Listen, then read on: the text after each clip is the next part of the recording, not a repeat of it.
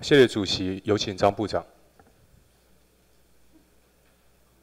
方委员好，哎，张部长您好。那首先啊，对于您在过去很多关键的历史时刻，站在注税正义啊的角度，有所为有所不为的坚持，我必须要向您致上我个人的肯定啊，跟尊敬。谢谢委员。那不过，如同您现在啊，就看到了这个 PowerPoint 所显示出来的。部长，你大概可以看到说，大概两千零八年呢，当做一个分水岭，我们每年的的预算哈，从有余到变成是每年呈现赤字这样子的状况。那不晓得部长，您对于说在这个过程当中造成转变最大的关键性的因素是什么？您以您多年的经验，是不是可以给我们一个比较直接的答案？国际、国内的因素都有，国际因素。一商量九十八年就是遇到金融海啸，所以我们发消费券，结果扩大支出，那一年的赤字四千多亿。是。那第二年为为了景气也是四千多亿，所以那两年就弄到了八千多亿。后来接着莫拉克台风又救灾特别预算又一千多亿，所以啊有国内有国际的因素。呃，刚刚您讲的都是一些比较特别的事件嘛，哈。那按照部长现在对我们整体税收的状况，哈，包括税出跟税入。您觉得这个红色的赤字呢，是接下来在您讲的那些特殊的事件都消失掉以后，譬如说我们不会每年产生金融风暴嘛？是。那可能像莫卡拉、莫拉克那样子的悲剧，我们也希望能够减少。那未来的趋势，您会认为我们在什么时间有可能从赤字转为有余？如果不改革是没有可能的。所以你的意思是说，即使去除掉金融风暴，是，即使去除掉风灾那些因素，如果不改革，是没有可能。这个红色的部分会不断的扩大吗？是。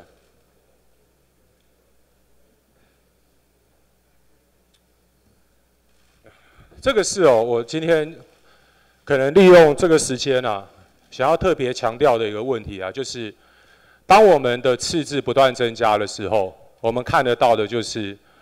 每个人平均国债的负担，在过去这几年当中，不断的攀升。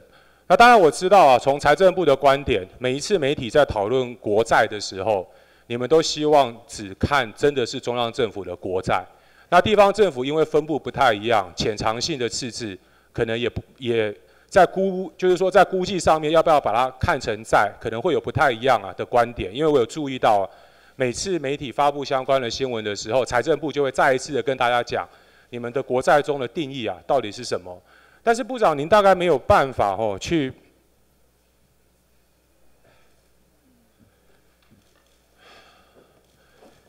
去缓解啊，哈，大家一个现在非常担心啊的状况啊，就是说，我们如果把这一些所谓隐藏性的负债，把它都加上去的话，我们接下来未来的下一代面对的。真的是债务越来越沉重的未来，那这个会直接的牵涉到我们现在在过去几年当中，还有很多公民社会，甚至是年轻人，我们都非常关心的世代正义的问题。部长，您认为啊，我们这一代如果没有把财政的问题做一个系统性的解决，把这个债留给我们的下一代来加以负担，这是一个负责任的政府应该有的作为吗？是我委员，我回应两点。第一点，前面那一张是正确的，就公债定义，每人负债是二十三万，这个一百零七万是不正确的，因为潜藏负债没有人当做负债，全世界都没有，它是英文里面是 liability，未来支付的义务，我们的债是 debt，是要还本要付息的，那这个潜藏负债十八兆没有到还本付息的地步，它会慢慢成为负债，所以这个要改革。所以我刚刚讲这个不改革，因为我们每年已经付出四千多亿，大概相当于税出的百分之二十三点五，这一部分要改革。没有这个我这个我了解了，因为我一我一直知道哈，财政部对于国债的定义是。采取一个比较严格的定义嘛，跟媒体上面揭露的数字两者之间有不一样，所以我今天采用两个图表，是。然后呈现让。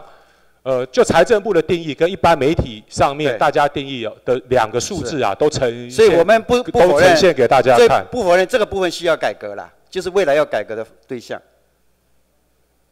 我现在要讲的是啊，另外一个面向，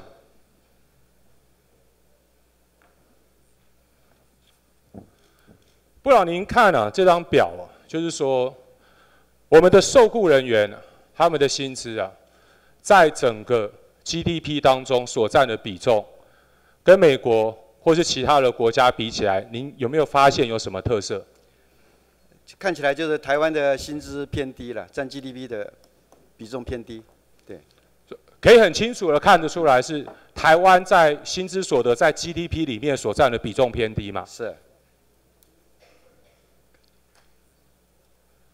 部长，您知不知道，在我们所有所得税的税收当中啊，属于薪资所得的比重有多少？综合所得税啊，就综合所得来讲，薪资所得它的税收的比重占百分之五十。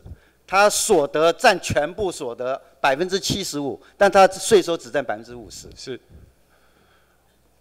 我们如果用吼综合所得税对来当 baseline 哈，嗯，台湾目前的薪资所得在综合所得税里面占百分之七十五。是。那我现在秀出来的啊是美国还有 OECD 的国家，他们的薪资所得在所得税里面所占的比重。部长，你有没有看出什么样的特色？就是就是说这样啦，应该说所得税制不同啦。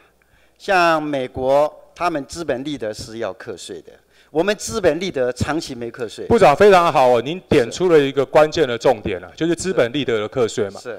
我们看到的现象是说，在所有 GDP 里面，我们的劳工、我们的受薪阶级。它占的 GDP 的比重已经比其他国家要低了，但是在我们整个所得税制的，在我们整个所得税的税制当中，受薪阶级他们所负担的赋税的比重，就薪资所得高达百分之七十五，另外百分之二十五哈。报告委员不是负担七十五，是所得的比重，我租税负担才百分之五十。对对，我知道了，我我讲的是说分母，我们就直接用综合所得税当分母嘛。您的意思是这样子吗？但是我但是我现在要说的事情是说，从刚刚那两个图表图表看到台湾目前整个在租税公平上面所面对最大的问题，也就是说，在 GDP 里面，受薪阶级他们分的比已经比较小了，但是我们在科所得税的时候，就薪资所得的比重非常的重，那就是部长刚刚您所点出来的有关于资本利得税的问题。那我想接接下来就是说，以部长您常年的经验啊，就是。台湾接下来如果要去改变这个租税不公的问题，要去苛征资本利得税的话，针对这样子的一个政策的方向以及可能的改革作为，部长您您有没有什么想法？啊，资本利得就是两部分嘛，一个股市，一个一个不动产。那不动产的部分我们已经改了，今年一月一号这个利得可以收到了。那股市的部分牵涉到整个股市的发展，我想委员也很清楚，过去提过几次，大概都因为股市的因素。呃，功败垂成。我们那个时候啊，把可能是这个是马上独立到另外一个更特定的问题啊，就是我们那个时候把遗产及赠与税从那个时候累进税率一口气调到百分之十的单一税率。这样对于这样子的一个政策方向，不晓得部长您是不是赞成？报告委员，这是公平跟效率之间的竞合啦。那个时候百分之五十表面上看起来公平，但是没有效率，因为逃漏税很多。百分之十看起来不公平，税收差不多，但是逃漏税变少了，比较有效率了。对，所以你还是没有跟我讲，就是对于这一次，对于那一波的改革，您个人的看法是什么？价值的判断啦，因为我们所有的政策就是公平跟效率之间的 trade off，你要选公平还是选效率啊？那这个在公平效率各有优优点，对。这个我了解啊，所以我还是请教一下部长，就是对于那一次的改革，您个人认为满不满意，或者是说？从所谓的公平朝向效率的方向，你是不是赞成？委员，如果从今天事后的角度来看，第一个税收没有减少很多，有减少一点点，但是征纳双方的争议变少了，然后申报的遗产总额变多了，就逃漏变少了。从从这个角度，从税收的角度，从基增减政便民的角度，从效率的角度，它有优点。OK，对。我想最后一个是。就有关于遗产跟赠与税啊，哈，税制的改革是不是现在百分之十过低？未来是不是有重新调整的必要？